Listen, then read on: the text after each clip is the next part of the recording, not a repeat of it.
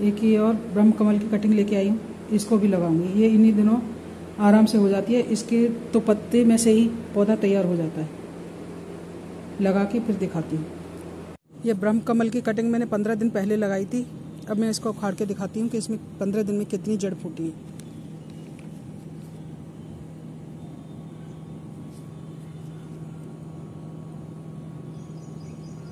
ये पंद्रह दिन की लगी हुई कटिंग है। पंद्रह दिन में इसमें इतनी जड़ फूट गई। ये पौधा ब्रह्म कमल की कटिंग बारिश और गर्मियों में ही लगाई जाती है। कटिंग को मैंने छः महीने पहले लगाया था। एक पत्ता लगाया था मैंने। इसकी ये ये जो जड़ है, मैंने ये एक पत्ता लगाया था। अब उसमें इतने पत्ते हो गए एक पत्ते से। अब मैं इसको भी निकाल के दिखाती हूँ कि छः महीने में इसकी कितनी जड़ें फैली हुई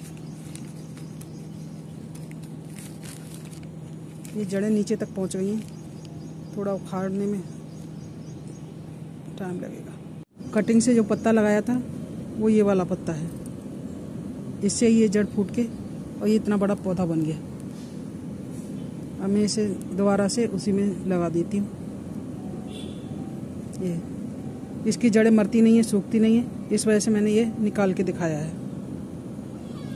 नहीं, पौधे की जड़ निकाल के पौधा सूख भी जाता है। ये ब्रह्म कमल की जो हम कटिंग लगाते हैं, उसके पत्तों में से ही पौधे तैयार होते हैं, जैसे ये निकल रहे हैं। ये पत्ते में से यहाँ से ये दूसरा पत्ता निकल रहा है।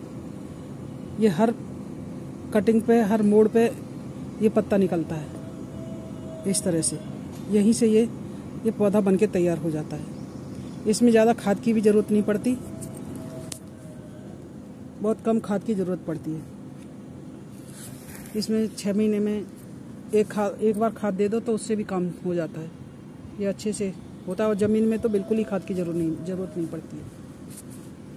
अब मैंने इस पौधे को वहीं की वहीं शिफ्ट कर दिया है।